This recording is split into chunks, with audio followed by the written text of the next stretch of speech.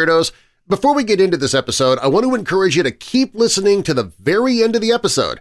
We're going to be giving you a sample of the newest episode from the other podcast that I host, Allegedly, and this one stars Jonathan Frakes from Star Trek The Next Generation, so keep listening through to the end to give it a listen. Stories and content in Weird Darkness can be disturbing for some listeners and is intended for mature audiences only. Parental discretion is strongly advised. One of the greatest religious movements of the 19th century began in the bedroom of two young girls living in a farmhouse in Hydesville, New York. On a late March day in 1848, Margaretta Maggie Fox, 14, and Kate, her 11-year-old sister, waylaid a neighbor, eager to share an odd and frightening phenomenon. Every night, around bedtime, they said, they heard a series of raps on the walls and furniture, raps that seemed to manifest with a peculiar, otherworldly intelligence.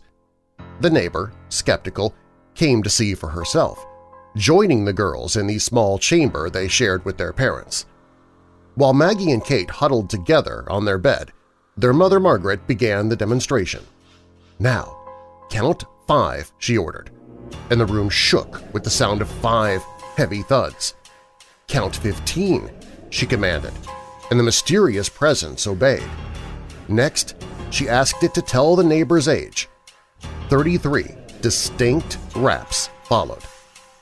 If you are an injured spirit, she continued, manifest it by three raps. And it did. I'm Darren Marlar and this is Weird Darkness.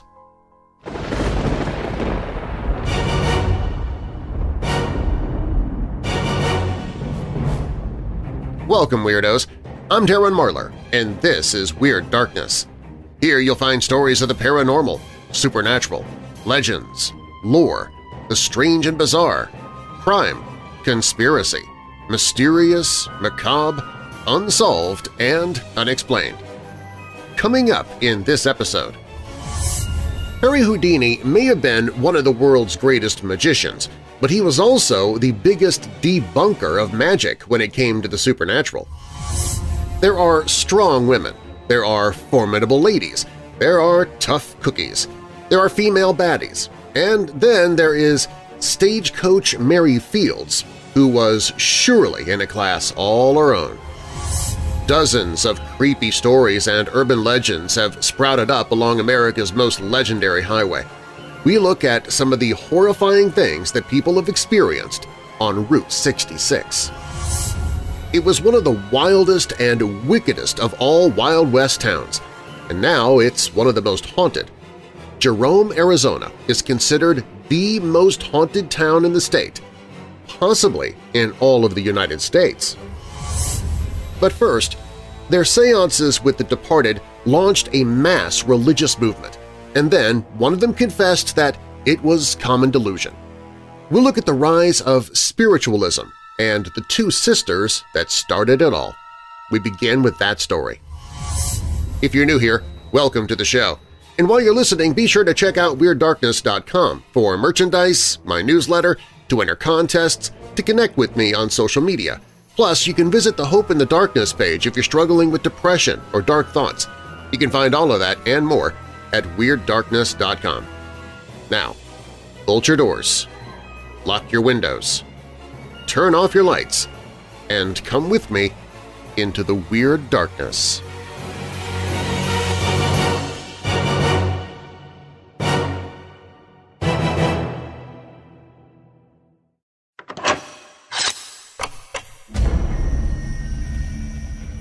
Margaret Fox did not seem to consider the date, March 31st, April Fool's Eve, and the possibility that her daughters were frightened not by an unseen presence, but by the unexpected success of their prank. The Fox family deserted the house and sent Maggie and Kate to live with their older sister, Leah Fox Fish, in Rochester. The story may have died there, were it not for the fact that Rochester was a hotbed for reform and religious activity the same vicinity the Finger Lakes region of New York State, which gave birth to Mormonism and Millerism, the precursor of Seventh-day Adventists. Community leaders Isaac and Amy Post were intrigued by the Fox sisters' story and by the subsequent rumor that the spirit likely belonged to a peddler who had been murdered in the farmhouse five years beforehand. A group of Rochester residents examined the cellar of the Fox's home, uncovering strands of hair and what appeared to be bone fragments. The Posts invited the girls to a gathering at their home, anxious to see if they could communicate with spirits in another locale. I suppose I went with as much unbelief as Thomas felt when he was introduced to Jesus after he had ascended, Isaac Post wrote, but he was swayed by very distinct thumps under the floor and several apparent answers. He was further convinced when Leah Fox also proved to be a medium, communicating with the Post's recently deceased daughter. The Posts rented the largest hall in Rochester, and 400 people came to hear the mysterious noises. Afterward, Amy Post accompanied the sisters to a private chamber, where they disrobed and were examined by a committee of skeptics who found no evidence of a hoax. The idea that one could communicate with spirits was hardly new. The Bible contains hundreds of references of angels administering to man, but the movement known as modern spiritualism sprang from several distinct revolutionary philosophies and characters. The ideas and practices of Franz Anton Mesmer, an 18th-century Australian healer, had spread to the United States, and by the 1840s held the country in thrall. Mesmer proposed that everything in the universe, including the human body, was governed by a magnetic fluid that could become imbalanced, causing illness. By waving his hands over a patient's body, he induced a mesmerized hypnotic state, that allowed him to manipulate the magnetic force and restore health. Amateur mesmerists became a popular attraction at parties and in parlors, a few proving skillful enough to attract paying customers. Some who awakened from a mesmeric trance claimed to have experienced visions of spirits from another dimension. At the same time, the ideas of Emanuel Swedenborg, an 18th-century Swedish philosopher and mystic, also surged in popularity. Swedenborg described an afterlife consisting of three heavens, three hells, and an interim destination, the world of the spirits, where everyone went immediately upon dying and was more or less similar to what they were accustomed to on Earth. Self-love drove one toward the varying degrees of hell. Love for others elevated one to the heavens. The Lord casts no one into hell, he wrote, but those who are there have deliberately cast themselves into it and keep themselves there. He claimed to have seen and talked with spirits on all of the planes. Seventy-five years later, the 19th-century American seer Andrew Jackson Davis, who would become known as the John the Baptist of modern spiritualism, combined these two ideologies, claiming that Swedenborg's spirit spoke to him during a series of mesmeric trances. Davis recorded the content of these messages and in 1847 published them in a voluminous tome titled The Principles of Nature, Her Divine Revelations, and A Voice to Mankind. It is a truth, he asserted, predicting the rise of spiritualism, that spirits commune with one another while one is in the body and the other in the higher spheres. All the world will hail with delight the ushering in of that era when the interiors of men will be opened and the spiritual communication will be established. Davis believed his prediction materialized just a year later, on the very day the Fox sisters first channeled spirits in their bedroom. About daylight this morning, he confided in his diary, a warm breathing passed over my face, and I heard a voice, tender and strong, saying, Brother, the good work has begun. Behold, a living demonstration is born. Upon hearing of the Rochester incident, Davis invited the Fox sisters to his home in New York City to witness their medium capabilities for himself. Joining his cause with the sisters' ghostly manifestations elevated his stature from obscure prophet to recognized leader of a mass movement, one that appealed to increasing numbers of Americans inclined to reject the gloomy Calvinistic doctrine of predestination and embrace the reform-minded optimism of the mid-19th century. Unlike their Christian contemporaries, Americans who adopted spiritualism believed that they had a hand in their own salvation, and direct communication with those who had passed offered insight into the ultimate fate of their own souls. Maggie, Kate, and Leah Fox embarked on a professional tour to spread word of the spirits, booking a suite fittingly at Barnum's Hotel on the corner of Broadway and Maiden Lane, an establishment owned by a cousin of the famed showman. An editorial in the Scientific American scoffed at their arrival, calling the girls the spiritual knockers from Rochester. They conducted their sessions in the hotel's parlor, inviting as many as 30 attendees to gather around a large table at the hours of 10 a.m., 5 p.m., and 8 p.m., taking on occasional private meetings in between. Admission was $1, and visitors included preeminent members of New York society, Horace Greeley, the iconoclastic and influential editor of the New York Tribune, James Fenimore Cooper, editor and poet William Cullen Bryant, and abolitionist William Lloyd Garrison, who witnessed a session in which the spirits rapped in time to a popular song and spelled out a message, Spiritualism will work miracles in the cause of reform. Leah stayed in New York, entertaining callers in a seance room, while Kate and Maggie took the show to other cities, among them Cleveland, Cincinnati, Columbus, St. Louis, Washington, D.C., and Philadelphia where one visitor, explorer Elisha Kent Kane, succumbed to Maggie's charms even as he deemed her a fraud, although he couldn't prove how the sounds were made. After a whole month's trial, I could make nothing of them, he confessed. Therefore, they are a great mystery. He actually courted Maggie, 13 years his junior, and encouraged her to give up her life of dreary sameness and suspected deceit. She acquiesced, retiring to attend school at Kane's behest and expense, and married him shortly before his untimely death in 1857. To honor his memory, she converted to Catholicism, as Kane, a Presbyterian, had always encouraged. He seemed to think that the faith's ornate iconography and sense of mystery would appeal to her. In mourning, she began drinking heavily, and vowed to keep her promise to Kane to wholly and forever abandon spiritualism.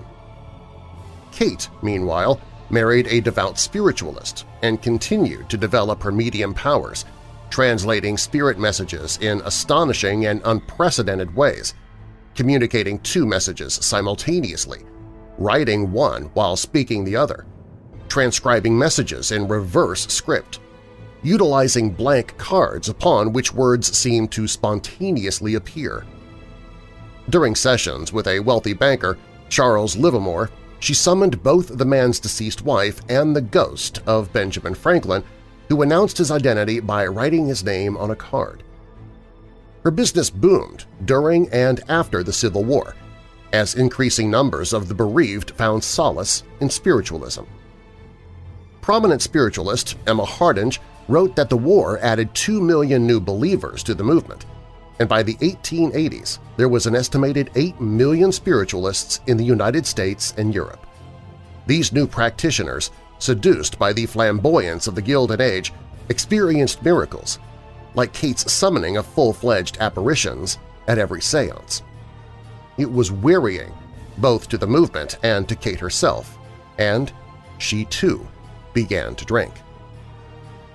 On October 21, 1888, the New York World published an interview with Maggie Fox in anticipation of her appearance that evening at the New York Academy of Music, where she would publicly denounce spiritualism. She was paid $1,500 for the exclusive. Her main motivation, however, was rage at her sister Leah and other leading spiritualists who had publicly chastised Kate for her drinking and accused her of being unable to care for her two young children. Kate planned to be in the audience when Maggie gave her speech, lending her tacit support. My sister Katie and myself were very young children when this horrible deception began, Maggie said. At night, when we went to bed, we used to tie an apple on a string and move the string up and down, causing the apple to bump on the floor, or we would drop the apple on the floor, making a strange noise every time it would rebound. The sisters graduated from apple dropping to manipulating their knuckles, joints, and toes to make rapping sounds. A great many people, when they hear the rapping, imagine at once that these spirits are touching them, she explained. It's a very common delusion. Some very wealthy people came to see me some years ago when I lived in 42nd Street and I did some rappings for them. I made the spirit rap on the chair, and one of the ladies cried out, I feel the spirit tapping me on the shoulder. Of course, that was pure imagination. She offered a demonstration, removing her shoe and placing her right foot upon a wooden stool. The room fell silent, and still she was rewarded with a number of short little raps. There stood a black-robed, sharp-faced widow, the New York Herald reported, working her big toe and solemnly declaring that it was in this way she created the excitement that has driven so many persons to suicide or insanity. One moment it was ludicrous, the next it was weird. Maggie insisted that her sister Leah knew that the rappings were fake all along and greedily exploited her younger sisters. Before exiting the stage, she thanked God that she was able to expose spiritualism. The mainstream press called the incident a death blow to the movement, and spiritualists quickly took sides. Shortly after Maggie's confession, the spirit of Samuel B. Brittan, former publisher of the Spiritual Telegraph, appeared during a seance to offer a sympathetic opinion. Although Maggie was an authentic medium, he acknowledged the band of spirits attending during the early part of her career has been usurped by other unseen intelligences, who are not scrupulous in their dealings with humanity. Other living spiritualists charged that Maggie's change of heart was wholly mercenary. Since she had failed to make a living as a medium, she sought to profit by becoming one of spiritualism's fiercest critics. Whatever her motive, Maggie recanted her confession one year later, insisting that her spirit guides had beseeched her to do so. Her reversal prompted more disgust from devoted spiritualists, many of whom failed to recognize her at a subsequent debate at the Manhattan Liberal Club. There, under the pseudonym Mrs. Spencer, Maggie revealed several tricks of the profession, including the way mediums wrote messages on blank slates by using their teeth or feet. She never reconciled with Sister Leah, who died in 1890. Kate died two years later while on a drinking spree. Maggie passed away eight months later, in March 1893. That year, spiritualists formed the National Spiritualist Association, which today is known as the National Spiritualist Association of Churches. In 1904, schoolchildren playing in the sisters' childhood home in Hydesville, known locally as the Spook House, discovered the majority of a skeleton between the earth and crumbling cedar walls. A doctor was consulted who estimated that the bones were about 50 years old, giving credence to the sisters' tale of spiritual messages from a murdered peddler but not everyone was convinced. The New York Times reported that the bones had created a stir amusingly disproportioned to any necessary significance of the discovery and suggested that the sisters had merely been clever enough to exploit a local mystery. Even if the bones were that of the murdered peddler, the Times concluded, there will still remain that dreadful confession about the clicking joints which reduces the whole case to a farce. Five years later, another doctor examined the skeleton and determined that it was made up of only a few ribs with odds and ends of bones and among them a superabundance of some and a deficiency of others. Among them also were chicken bones. He also reported a rumor that a man living near the spook house had planted the bones as a practical joke, but was much too ashamed to come clean.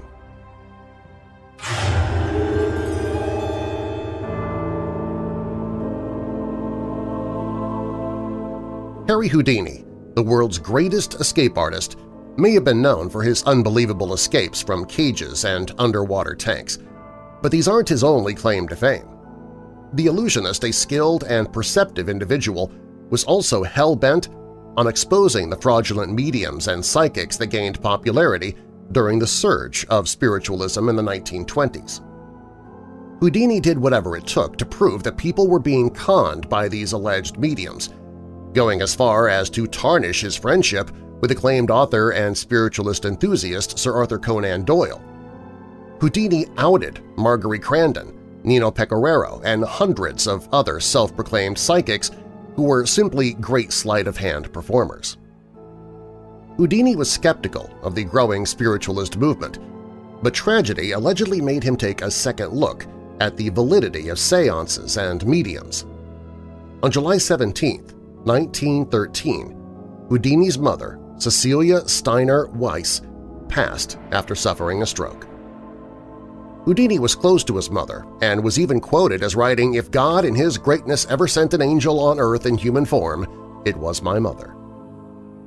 Houdini struggled for months after his mother's passing, writing to his brother Theo, I can write all right when I keep away from that heart-rendering subject so we'll try and avoid it, if possible. But I have to write to my brother once in a while about her, whom we miss, and for her with whom I feel as if my heart of hearts went with her. Many believe his intense heartache is the reason he started dabbling in spiritualism and eventually started to debunk it out of frustration. But Houdini historians often note the illusionist actually attended his first seance as a child when he tried to contact his recently deceased half-brother, Herman. Even at an early age, Houdini suspected that seances and mediums were hogwash. From January 1918 to December 1920, the H1N1 virus, known then as the Spanish flu, ravaged the world. Nearly a third of the world population, or 500 million people, contracted the virus, and 3 to 5 percent of the world's population perished. Combined with the casualties of conflict, many people were searching for answers as to what happened to their loved ones after they left this mortal coil. Spiritualism was everywhere, from a neighbor's living room to the cinema. The popularity of the movement clashed with empirical science, which was also experiencing a resurgence. Houdini was friends with author Sir Arthur Conan Doyle, the author of Sherlock Holmes.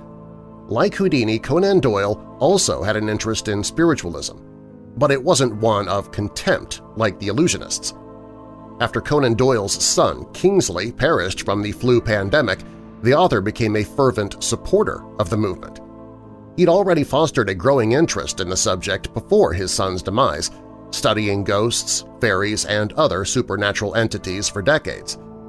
Kingsley's passing acted as a catalyst, and Conan Doyle continued studying the occult with zeal. And even Conan Doyle's second wife, Jean, claimed to be an automatic writer and medium of sorts. They claimed to communicate with an entity named Phineas, who would regularly warn them of impending disaster. Houdini's ability to escape bound chains and make things as large as an elephant disappear won him fans with some, like Conan Doyle, believing the illusionist had innate psychic abilities, which Houdini always refuted. Houdini knew how to perform sleight of hand and create realistic illusions, which is how he easily debunked many mediums, who often cited shaking tables and wobbling chairs as empirical evidence of the afterlife. Houdini once told a reporter, Whenever any of these alleged spiritual mediums tell you that they have supernatural aid, you may safely set them down as frauds. In order to thwart these pseudo-psychics and mediums, Houdini employed a number of secret employees. By the time spiritualism hit its heyday in the 1920s, Houdini had been to hundreds of seances, and he couldn't cover all the ground. He hired a few people he deemed his own secret service to unveil the con artists he believed were taking advantage of desperate people. One member of his secret service, Rose Mackenberg, a private investigator in Houdini's employment, said she attended over 300 seances in the two years she worked for the magician. In one instance, an alleged psychic tried to charge Mackenberg $25 for his services. He also claimed that taking off her clothes would help her communicate with the other side better. She declined, and after she told Houdini he humiliated the man at one of his own shows. A devout spiritualist who also emulated all that was rational with his character Sherlock Holmes, Conan Doyle proposed a contest to detect whether or not mediums were the real deal. The magazine Scientific American ran a contest that offered a hefty $2,500 prize to any psychic or medium who could empirically prove they possessed the supernatural gift.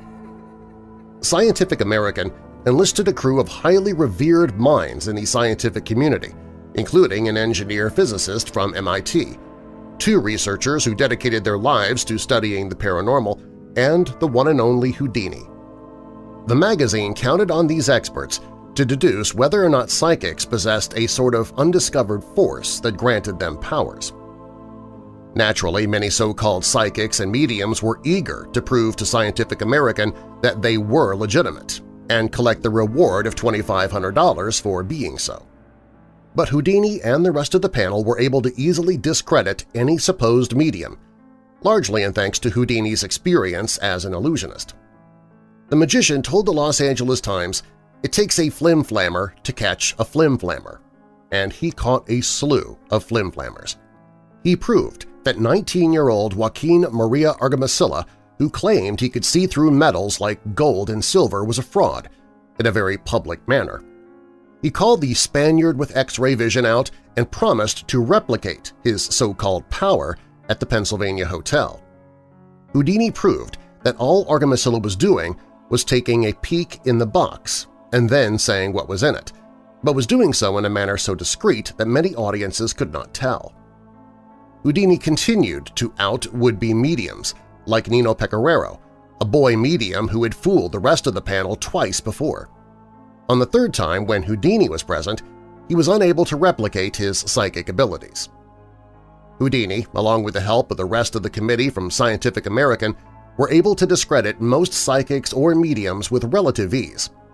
But that all changed around 1924 when Mina Crandon, also known as Margery the Medium, took the spiritualist world by storm.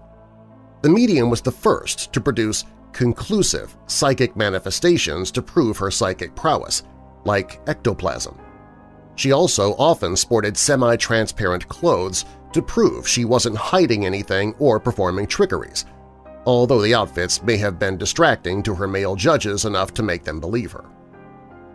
Houdini and the other judges attended two seances of hers in Boston in July of 1924. He claimed that he saw her escape constraints and ring a bell, meant for a spiritual entity to use to signify its presence, with her foot. Everyone except Houdini remained convinced. Margery the Medium continued to gain massive popularity, much to Houdini's chagrin. In order to definitively prove that she wasn't an actual medium, Houdini resorted to bizarre and, at times, reputation-ruining tactics. In order to prevent Margery from using her legs in any way during the seance, Houdini placed her in a boxed contraption during the event. The bell still rang, even though she was boxed in, but it appeared that the lid of the box had been forced open. Houdini knew Margery forced her way through, but the other judges weren't so convinced. He also wrote the article Margery the Medium Exposed, even though his Scientific American colleagues weren't on board with his claims. He called out one of the magazine's writers for even entertaining the idea of awarding Margery the prize money. He even went as far as to say that he would give up $1,000 if he was not able to prove that she was a fraud. If you give this award to a medium without the strictest examination, every fraudulent medium in the world will take advantage of it, he said. I will forfeit $1,000 if I do not detect her if she resorts to trickery. Of course, if she is genuine, there's nothing to expose, but if the Scientific American by any accident should declare her genuine and she was eventually detected in fraud, we would be the laughingstock of the world, and in the meantime hundreds of fraudulent mediums would have taken advantage of the error. Houdini had proved his point, and Margery was revealed to be yet another fraud. Once Houdini had outed Margery as another trickster, it had a profound impact on his friendship with Arthur Conan Doyle. Conan Doyle had proudly touted Margery as the real deal, and after Houdini's tirade against her, they had a rather public falling out. Conan Doyle wrote a piece for the January 26, 1925 issue of the Boston Herald saying, It is that of Houdini, the eminent conjurer. Houdini was first present at two sittings, a long series of phenomena occurred. Houdini passed them at the time, raised no objection, and signed the accounts as being correct. Nonetheless, though, he could say nothing before the Crandons. He wrote the people at a distance who had no means of checking his statement to say the program was fraudulent. The Sherlock Holmes author was upset that Houdini didn't suggest that Margery was a fraud during the seances, but rather later from afar. their relationship never quite recovered. As a final test to see whether or not spiritualism was real, Houdini gave his wife Bess a secret code if he were to perish before her.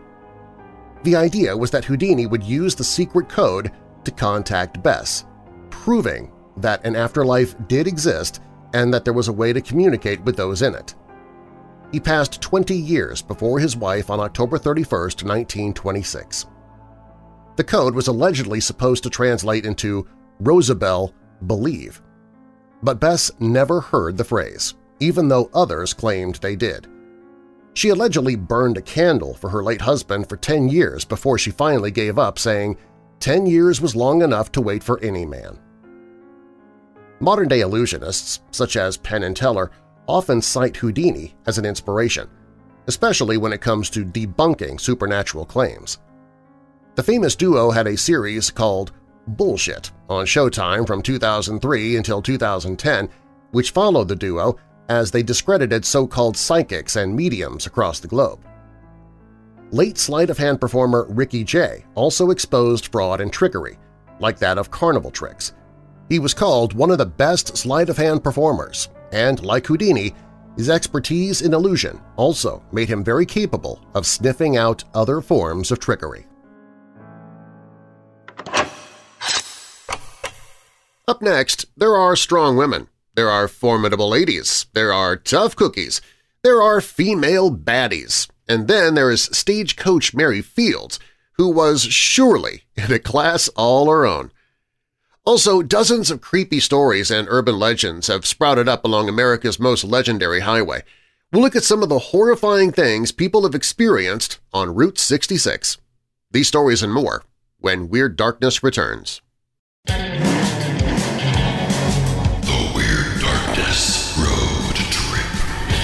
Hey Weirdos! If you want to find out where I'm going to be headed in the weeks and months to come, you're going to want to keep a close eye on the events calendar at WeirdDarkness.com. For example, May 27th through the 29th, I'm taking the Weird Darkness table to the UFO Disclosure Symposium in Vernal, Utah.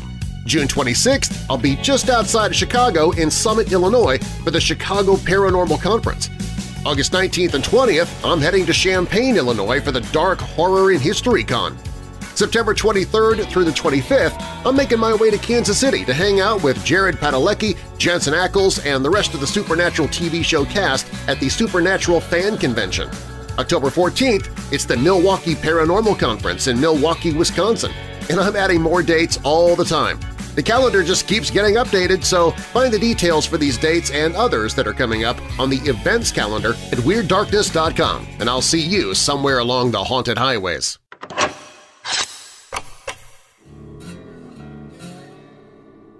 As is the case with so many larger-than-life figures, much of Mary Field's life history is murky and a good part of the rest shrouded in the fog of mythology.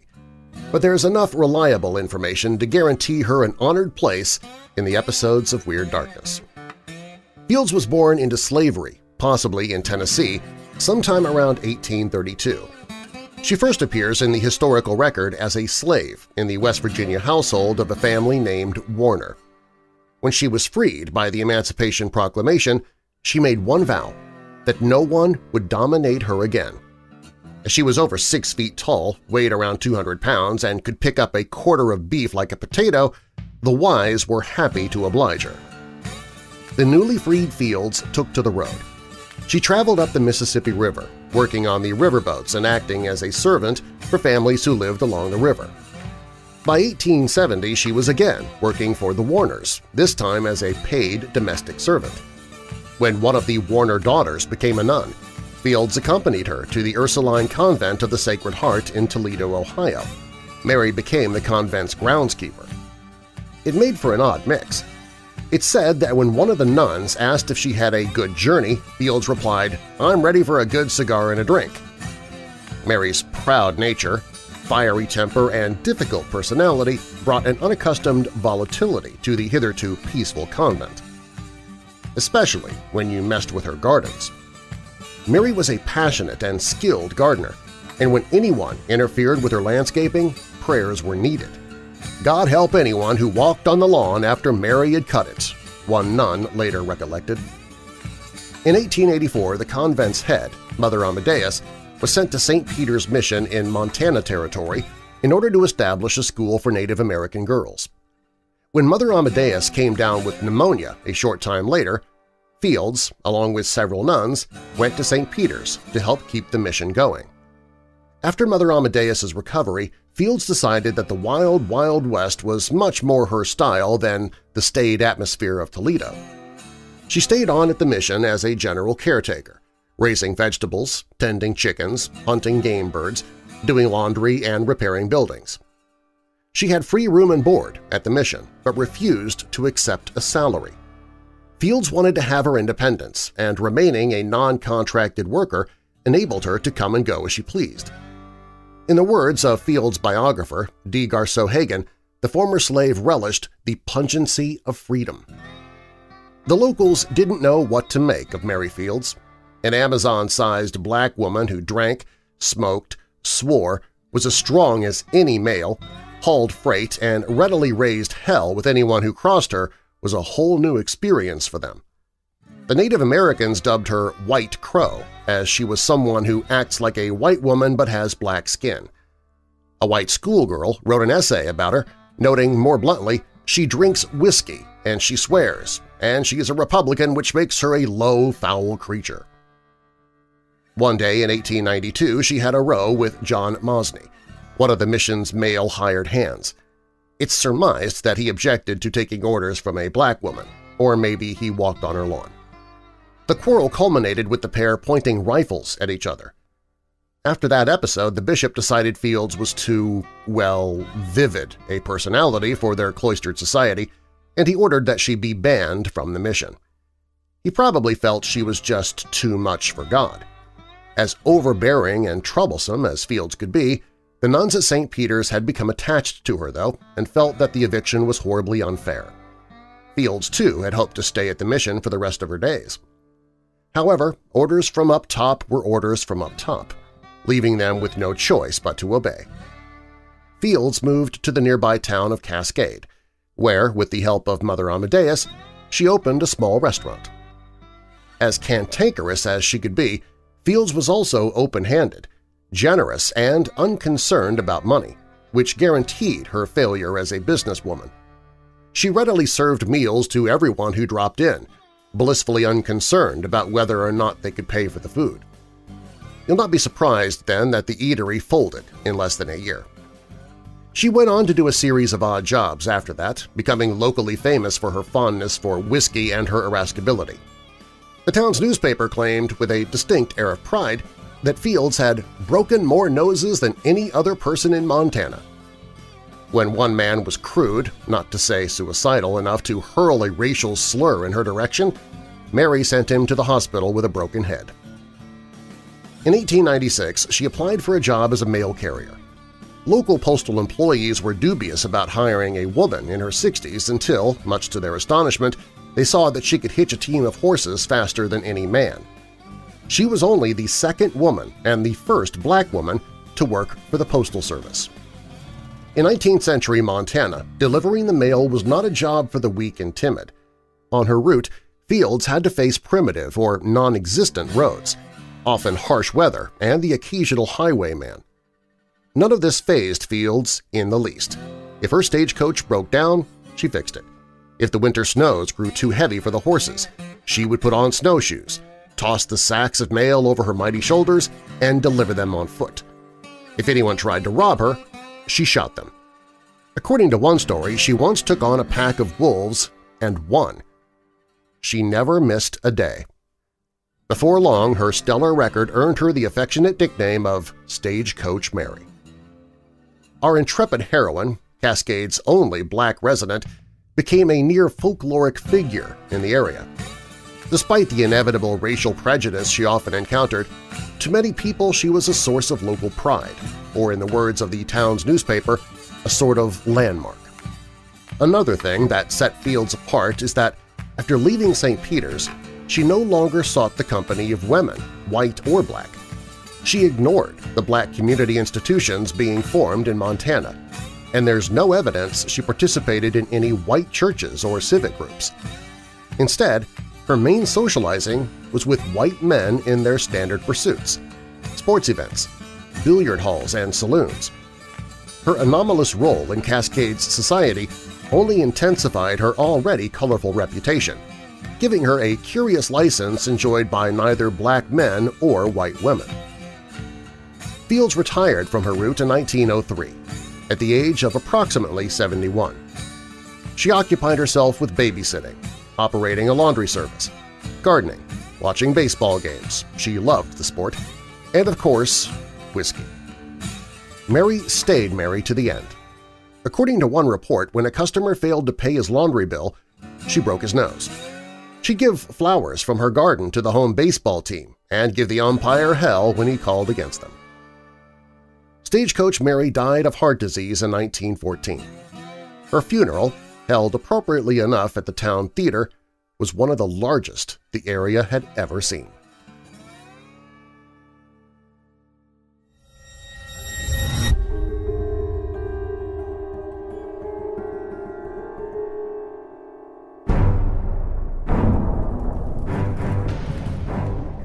Spanning a massive 2,451 miles across the United States, it's not surprising that dozens of creepy stories and urban legends have sprouted up along America's most legendary highway. Some are disgusting, some are creepy, and some you don't want to think about again while you're alone in your room. There are numerous creepy stories and legends based around Route 66. Route 66 is a long stretch of highway, meaning you can't drive it all without making a few stops. But if you must stop, avoid the Hotel Monte Vista. According to Haunted Route 66, Ghosts of America's Legendary Highway, reports from that hotel indicate restless spirits like to roam the halls. Especially avoid the second floor, which is supposedly haunted by so many spirits hotel management can't put pets on that floor or they freak out. The scariest place might be the basement, where reports of a baby crying over and over again have been made quite a few times.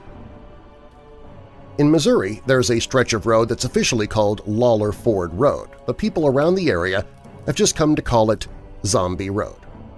The road was paved at some point, but now has become almost impossible to pass using an automobile. A lot of stories have come from Zombie Road, whether it be the ghost of a man hit by a train in the 1970s, or the mysterious old woman who screams at people from a house at the end of the road, but what built up Zombie Road the most was the death of Della Hamilton McCullough way back in 1876, when she was hit by a railroad car.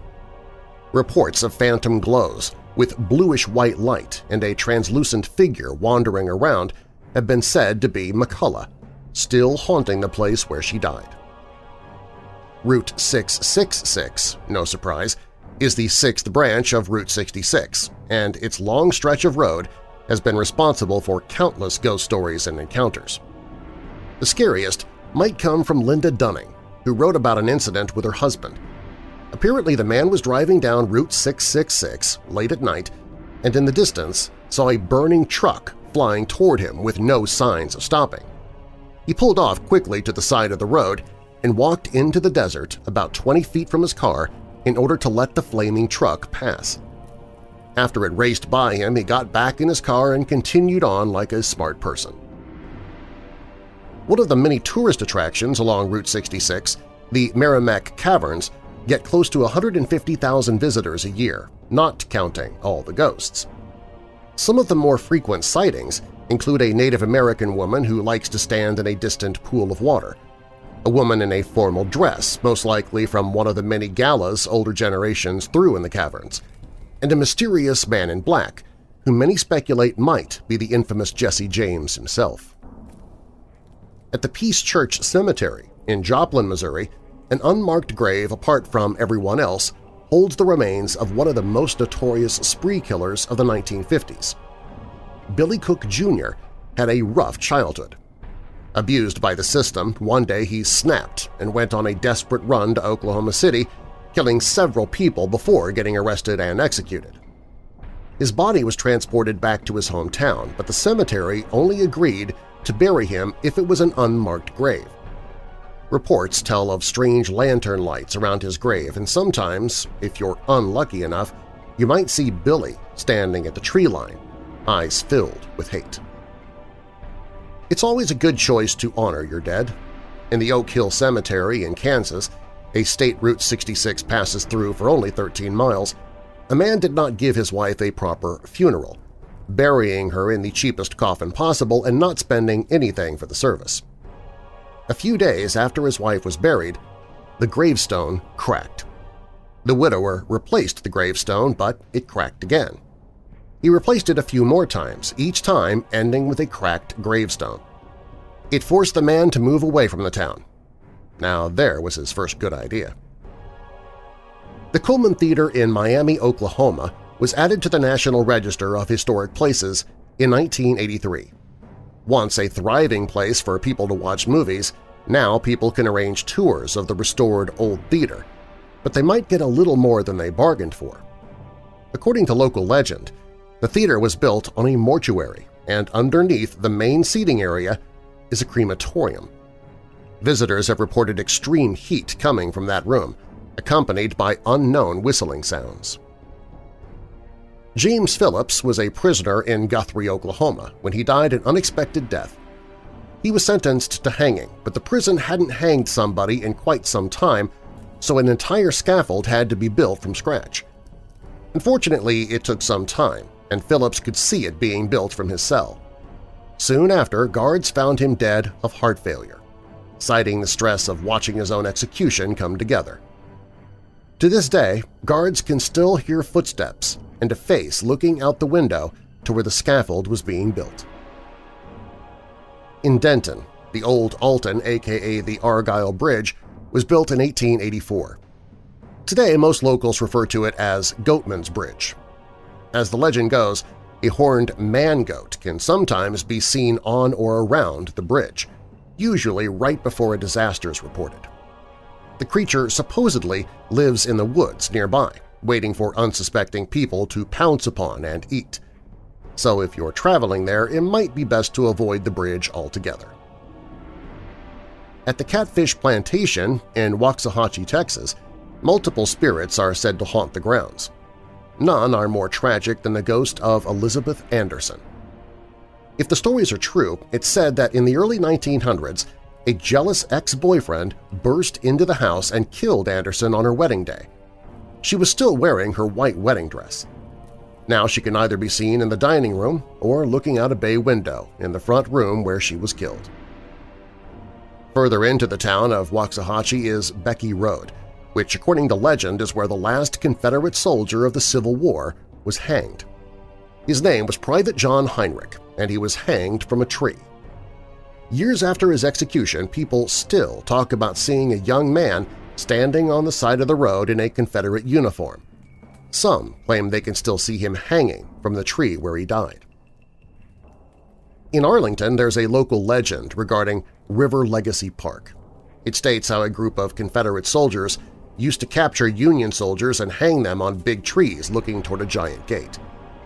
Because of the ordeal, the gate soon became known as Hell's Gate, as it was usually the last thing the Union soldiers saw.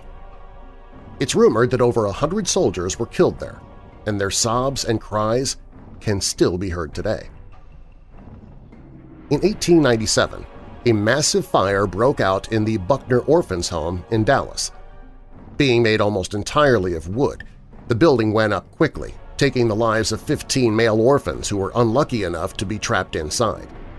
They were all buried in the cemetery behind the orphanage, but reports say crying can still be heard along with an unexplained burning smell.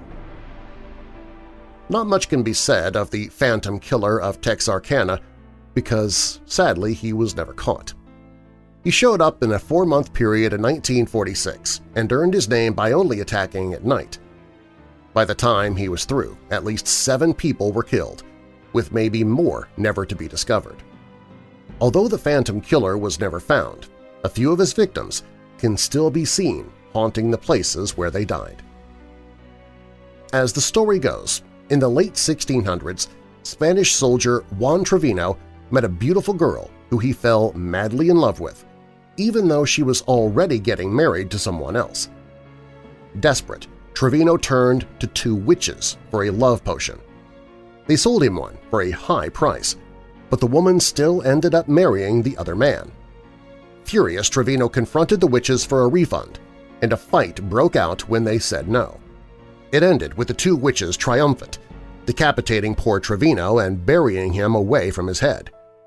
Now his spirit wanders, apparently searching for the witches who killed him, or his missing head. In the Menaul Boulevard neighborhood, everyone apparently knows that the hills in the distance are haunted. Taking a walk among the foothills at night can lead to encounters with strange lights and odd noises, including laughing and gunshots. There's also a cave in the hills from which people sometimes claim to see a bright light emanating. But when anyone has the courage to go check it out, it always vanishes. And in Devore, California, at the Treehouse Fun Ranch off of Route 66, a truck driver frequented the nudist colony there so often that he had his ashes delivered to the place once he died. His urn rested behind the counter for years, with everyone forgetting about them and ownership switching hands. Once the new owners renovated, they found the ashes and moved them. As soon as they did, ghostly events started happening, including a self-starting fire pit and several electrical disturbances. So if you plan to take a long road trip vacation down Route 66, enjoy the history, but be ready for the hauntings.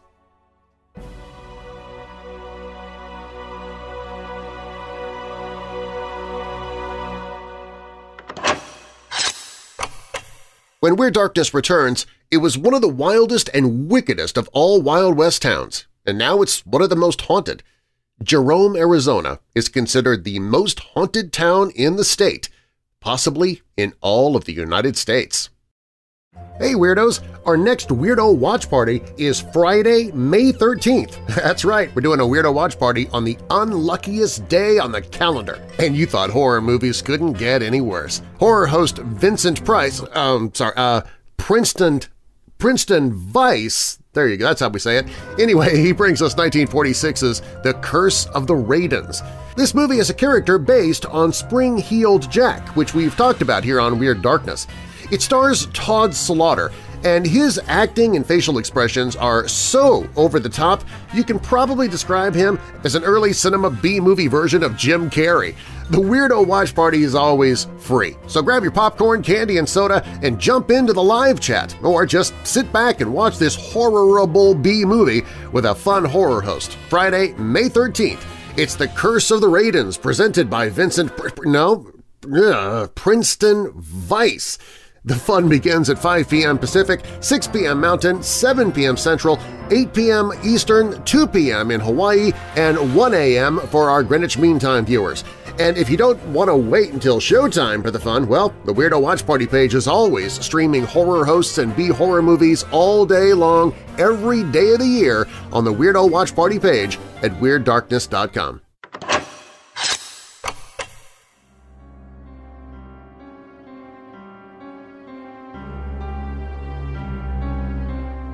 The town of Jerome, Arizona sits between Flagstaff and Prescott in the Black Hills of Yavapai County, and its strange history draws visitors year after year. Founded in 1876, Jerome was a mining town that quickly flourished when copper, gold, and silver were all found in the area. The town boasted a number of successful restaurants, gambling halls, and saloons, as well as an active red light district in its heyday, Jerome had 15,000 residents, but by the 1950s, less than 200 people called Jerome home. Living residents, anyway. Jerome is said to be the most haunted town in the state of Arizona, perhaps even the United States. Things to do in Jerome include visiting a hospital-turned-hotel where patients and staff still roam the halls. You can also visit the many saloons and bordellos that saw high levels of mischief and mayhem. There's even a phantom cat, who's always happy to spend the night with visitors in its former home. The history of Jerome, Arizona is complicated and a little murky, but these are some of the best-known stories of hauntings and paranormal phenomena that the city has to offer. Long before it became a paranormal tourist destination, The Jerome Grand Hotel was the United Verde Hospital. From 1927 to 1950, it's estimated that nearly 9,000 people expired there, often during surgery. When the hotel opened its doors in 1996, guests immediately began to report paranormal activity, including disembodied voices and a phantom gurney in the hallway. The hotel staff has embraced the intense hauntings and keeps a 300-page notebook in the lobby for guests to write their experiences in. They have to replace the notebook every year. The third floor of the hotel is said to be the most haunted, since it's where the old operating room was located. The most haunted room is thought to be number 32, where two people took their own lives. Guests often report seeing orbs and shadowy figures, and are encouraged to ride the original Otis elevator with the ghost of Claude Harvey, a maintenance man who met his end there in 1935. Some guests report hearing a squeaky gurney on a linoleum floor outside their door, even though all the hallways are now carpeted. Staff have reported receiving phone calls at the front desk from unoccupied rooms as well. One of the harsh realities of living in Jerome was the constant danger experienced by women. Sammy Dean was a Texan woman who grew up poor and worked in both a clothing factory and dry goods store at the turn of the 20th century. While records on Dean's adult life are spotty, she eventually ended up working at one of the more upscale bordellos in Jerome.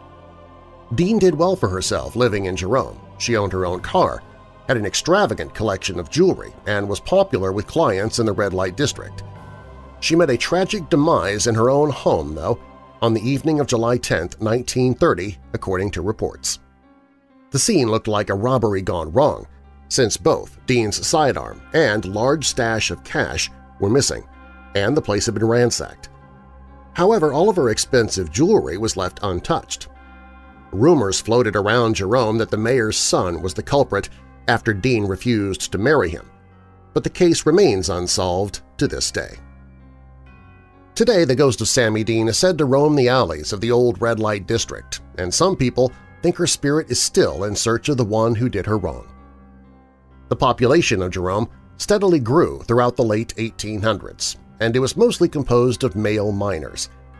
A common estimate is that the population of the town was 78% male. The gender discrepancy in Jerome led to the building of a number of saloons, gambling halls, and bordellos which contributed to high levels of hostility and aggression. There was even a section of Jerome nicknamed Husband's Alley, containing a number of brothels and bordellos with varying levels of respectability. While you could get rich from mining in Jerome, there was an increasingly high chance of also getting robbed, or worse. Jerome's unsavory reputation spread across the country, and in 1903 the New York Sun ran an article declaring Jerome the wickedest city in the West. When Jerome saw three catastrophic fires in an 18-month period, some thought it was some sort of divine punishment for the sinful nature of the city. But Jerome rebuilt itself every time. With its predominantly male population, bordellos were one of the main ways miners could uh, relax after a day of hard labor in Jerome. The most successful bordello in town was Jenny's Place, which was run by Jenny Bauters, a Belgian immigrant who, while not the first madam in Jerome, was definitely the most successful. Jenny's life was cut short by a client in 1905, and some say she never left her bordello again. Now called the Mile High Inn, the site is home to countless reports of paranormal phenomena of all types, including multiple sightings of Jenny herself. The housekeeping staff seems to be Jenny's prime target. Perhaps the former madam wants to make sure everything is done to her liking. When it's not, the ghost has been known to throw objects across the room to get the staff's attention. The Mile High Inn hosts a number of spirits, including its former owner, and a male apparition who enjoys poking and pushing unsuspecting guests. Perhaps the strangest case of ghostly activity is the inn's ghost cat, who's said to have belonged to the original owner, Jenny Bauters. Guests have reported seeing paw prints and indentations on their beds even though there are no living animals in the building. One guest heard scratching at the door to their room, but saw no cat when they opened the door. This phantom cat is supposed to look so real guests have even tried picking it up, only to have the cat shockingly vanish in their arms. Consider that your warning if you visit the Mile High Inn and see a cat who looks like it just wants a scritch. Originally referred to as Connor's Corner, the Connor Hotel opened as a luxury hotel in 1897, only to burn to the ground a year later. It would be rebuilt and then damaged two more times, by fire, yet the alleged hauntings at the Connor seem unrelated to this unfortunate series of events. While supernatural activity has been reported throughout the hotel, room number one is considered to be the most haunted, and it is rarely booked by guests. One man was kept awake most of the night by the disembodied sound of women's laughter and whispering inside his seemingly empty room. Objects have been known to move on their own, and the doors of the room's armoire will sometimes open and close, perhaps with the assistance of a phantom hand. A woman in a red dress has also been seen in the room, as well as the apparition of the hotel's original owner, David Connor. Connor is usually spotted staring out the window, only to vanish before the witness's eyes. If you miss him there, Connor's often seen at his other favorite spot, the hotel bar. As if Jerome wasn't bizarre enough with its above-ground hauntings, there are also 88 miles of sprawling tunnels that sneak beneath the town where men mined for their fortunes. With so many men working deep below ground in hazardous conditions, it's no surprise that restless spirits still wander the tunnels they labored in over a century ago. The most infamous ghost story from the mines is that of Headless Charlie, whose head was apparently relieved of his body in a freak mining incident and never found. Shortly after Charlie's horrific passing, miners started finding large footprints similar to Charlie's throughout the mines. There have also been multiple reports of screams and moaning coming from the abandoned mines. The mines are closed to the public, but local lore has it that Charlie still walks the tunnels in an eternal search for his head. Fun fact, there was a Jerome-based band called Headless Charlie, named in homage to the Phantom Miner. The now historic Jerome Valley Cemetery opened in March 1917 on 40 acres of rolling fields. While 40 acres seems like more than enough room considering the town's population, space quickly became tight during the influenza outbreak of 1918. Records show 51 people were buried in a single month, during the height of the flu outbreak. Burials declined after 1919, and the last grave was dug in 1975. There could be more than 700 people buried in Jerome Valley today, but grave markers have been stolen over the years, and most of the burial records were destroyed in the 1950s. There have been many alleged sightings of spirits walking through the cemetery ghost lights and wraiths that make themselves known after the sun sets on Jerome. The dangerous nature of mining work made the hospital in Jerome essential, but medical treatment and surgery were still coming out of the Dark Ages in post-Civil War America. Amputations were commonly practiced for injured miners, and patients more often than not never left the hospital. The influenza outbreak of 1918 also proved too much for the small hospital to manage, and staff were forced to burn unclaimed patients in the incinerator, according to local lore. It's also been said that the smelters used by the mines also saw a burning or two. Visitors to Jerome have reported apparitions staring out the windows of the now abandoned hospital, and it's a popular stop on local ghost tours. Originally built as housing for local mine managers, Ghost City Inn has also served as a restaurant spiritual retreat, private residence, and even a funeral home during its long history in Jerome. A male and female spirit have both been seen by multiple guests in or near the Verde View and Cleopatra Hill rooms respectively, though their identities are unknown. There's also been reported poltergeist activity, such as disembodied voices heard in seemingly empty rooms and doors slamming of their own accord. The current owners note on their website that the inn takes its name from Jerome's own nickname of Ghost City. As to whether Ghost City Inn is truly haunted, the owners say it may be. but it's ultimately up to the guests to decide for themselves if anything goes bump in the night. While its official name is Lawrence Memorial Hall, Jerome's Community Center is commonly referred to as Spook Hall by locals who embrace the abundance of paranormal activity in the town. While no one is known to have expired at Spook Hall, it is said still to be haunted by the ghost of a young woman in 19th-century attire. Bordello workers allegedly used the site now occupied by Spook Hall to entertain their customers. One such woman met a grisly fate, and her spirit is now bound to the land. Her ghost has been seen through Spook Hall over the years, and she has a reputation for knocking things over to make her presence known. When the mines finally closed for good in the early 1950s, Jerome's population dwindled to somewhere between 50 and 200 people. The residents left behind only stayed because they couldn't afford to move anywhere else. There was even talk of demolishing the entire town because no one could figure out how to revive it. Yet Jerome has always proved to be remarkably resilient. It did burn down three times and bounce back, after all. In 1967, the town became a National Historic Landmark, and by the late 1970s, an active artist community had moved into the town and set up a historical society. Jerome began marketing itself as Ghost City and the original ghost town. Jerome has thrived ever since, and the number of living residents is now somewhere around 500. Of course, we know there are still a countless number of not-so-alive residents still lurking around.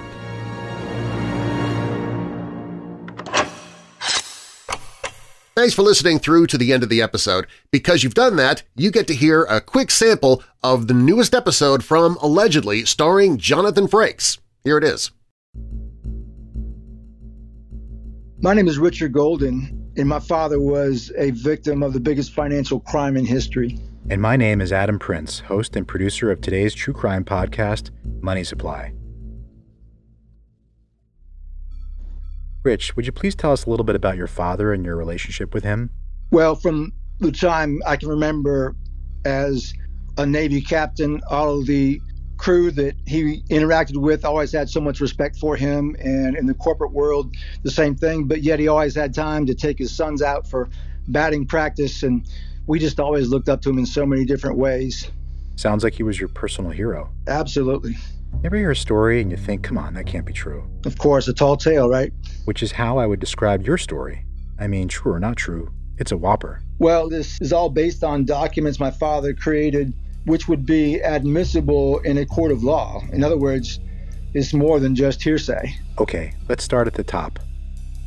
All right, my dad, Roger Golden, was a high powered corporate attorney, never lost a case. In 1988, not long before the fall of the Berlin Wall, he was approached by the owner of a brokerage firm in Chicago. Let's call him the broker. In fact, the only real name we're going to use is for Rich's dad. So the broker's company earned a big commission on a massive transfer of wealth from the Soviet Union. Basically, the Russians had been hoarding gold for centuries uh, as the Soviet Union was teetering the powers that be arranged for uh, gold reserves to leave the USSR and enter the Western economy by depositing them into a bank in Hong Kong. Uh, the broker had been working on this deal for a while, um, facilitating the transfer, and for that, he was to receive quite a large commission. But as that money came into the U.S., it was flagged by the Treasury Department and held up indefinitely. So the broker brought in my father to essentially unstick the gears and get the Treasury Department to release the funds. How large a commission are we talking here? $1.7 trillion. You mean billion, right? Nope, you heard me right the first time. Uh, 1.7 trillion with a T. See what I mean? So, Rich, can you explain how this astronomical number came about? And just for context, the total amount of goods and services produced in Russia, the GDP, was around $500 billion that year. That's not even a third of your father's $1.7 trillion commission. And the world GDP, all the economies on earth put together, the GDP for that was 22.5 trillion. 1.7 trillion was just the commission. How big was this deal? How much money was being transferred? A lot. Clearly, but how much? Well, I don't know exactly. Did your dad know? I'm not sure, but I know it sounds weird, but let me explain. Please. So the number 1.7 trillion was predetermined and did not reflect a normal percentage of the deal. Years later, he would come to understand better where this crazy high number comes from. Basically, uh, if you recall, uh, in the 70s, the early 1970s, the world economy was swimming in petrodollars, money made from the sale of oil, which was astronomically high. During a series of oil shocks throughout the, the decade, U.S. and banks around the world had a problem what to do with all that money. They lent it to the third world nations in South and Central America, but it soon became apparent that those countries would not be able to pay the money back. They took out loans just to pay the interest back on the principal. The bottom line is it left a $1.7 trillion hole in the U.S. economy. Uh, so the head of the CIA at the time came up with a fix to the problem he called Project Rosebud. Uh, it would take another decade or so for this plan to be put into action. And by then, he was, uh, let's just say, about as high up in government as you can get. What did your father think about all this? Surely he had questions. Well, first of all, my dad and the broker had no idea there was a larger game being played. From their perspective, this was just a straight up business deal. The only thing that was unusual about it was the fact that it originated in Russia and, of course, the size of the deal itself. I have to imagine your dad stood to make a ton of money himself. Well, not as much as you would think. He was also uh, getting ready to retire. He actually did retire once, but uh, he lost everything he had in a bad business deal. Uh, he came out of retirement, which is how he met the broker. Uh, Dad got his house in order and he was ready to retire for good. He promised my mom they'd travel and play a lot of golf. He knew that, any case, when you go up against the government, it had the potential to drag out. So he didn't want to take it to that length. So he tells the broker no, right?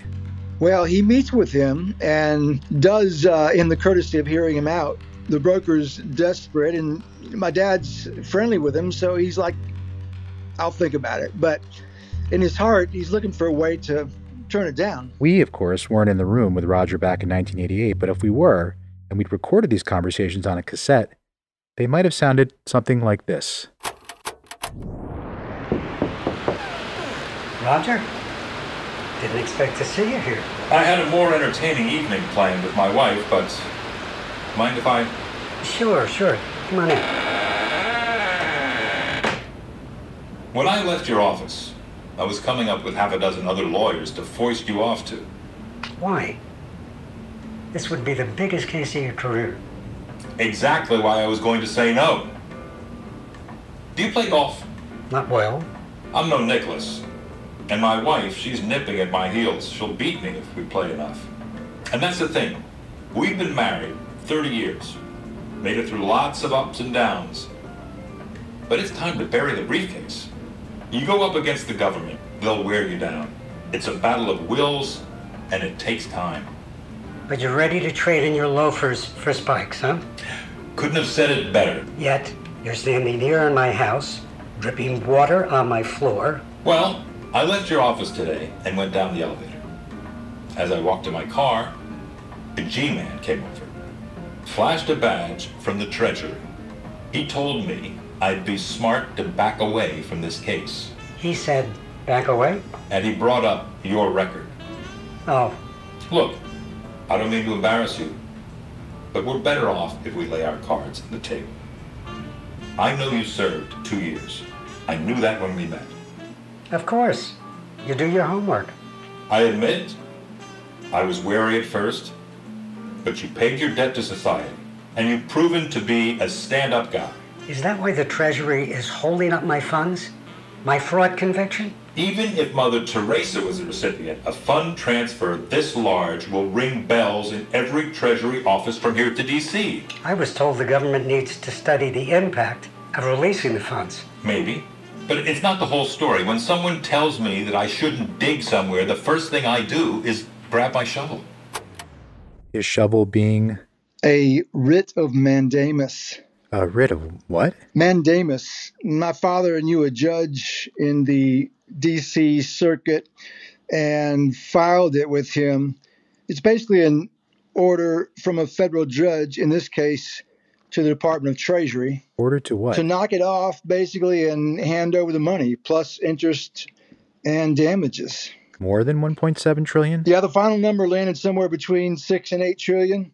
The interesting thing is the powers that be never expected this case to actually land in federal court, but the order also had the World Bank attached to it, which is ironically why it was accepted into the federal court. So the judge sided with the broker? Yes, sir, and he sent the writ. I'm guessing that didn't do the trick. No, it did not.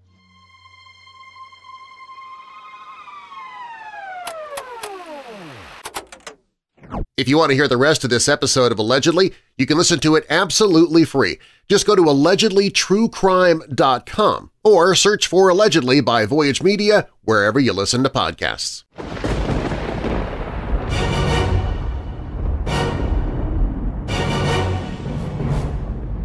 Thanks for listening. If you like the show, please share it with someone you know who loves the paranormal or strange stories, true crime, monsters, or unsolved mysteries like you do. And please, leave a rating and review of the show in the podcast app you listen from. Doing so helps the show to get noticed. You can also email me anytime with your questions or comments through the website at WeirdDarkness.com. It's also where you can find all of my social media, listen to free audiobooks that I've narrated, shop the Weird Darkness store, sign up for the email newsletter to win monthly prizes, find other podcasts that I host, and find the Hope in the Darkness page if you or someone you know is struggling with depression or dark thoughts. Plus, if you have a true paranormal or creepy tale to tell, you can click on Tell Your Story or call the Dark Line toll-free at 1-877-277-5944. That's 1-877-277-5944. All stories in Weird Darkness are purported to be true unless stated otherwise, and you can find source links or links to the authors in the show notes. The Fox Sisters was written by Karen Abbott for Smithsonian Magazine. Houdini vs. Spiritualism was by Maggie Clancy for Graveyard Shift. The Ballad of Stagecoach Mary is from Strange Company. Horrors of Route 66 is by Jacoby Bancroft for Ranker. And The Haunting of Jerome, Arizona was written by Patrick Thornton for Graveyard Shift. Weird Darkness is a production and trademark of Marlar House Productions. Copyright Weird Darkness. And now that we're coming out of the dark, I'll leave you with a little light. 1 Corinthians 16 verse 14, Do everything in love. And a final thought, a mistake that makes you humble is much better than an achievement that makes you arrogant. I'm Darren Marlar. Thanks for joining me in the Weird Darkness.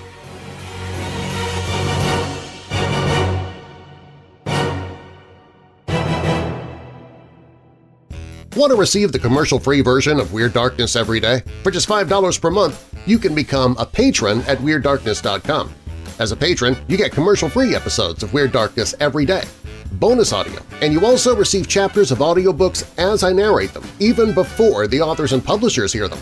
But more than that, as a patron, you're also helping to reach people who are desperately hurting with depression and anxiety. You get the benefits of being a patron, and you also benefit others who are hurting at the same time. Become a patron at WeirdDarkness.com.